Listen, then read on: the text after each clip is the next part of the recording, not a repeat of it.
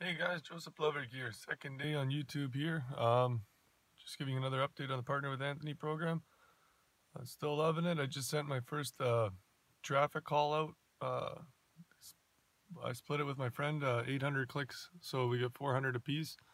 The campaign just finished about an hour ago, and uh, I didn't see any sales yet, but I've seen a few uh, unique uh, unique clicks and few leads so fingers crossed. Uh, looks like I only got a hundred of them so far registered on the Anthony, partner with Anthony program and my build redirect so another 300 still slated to go through.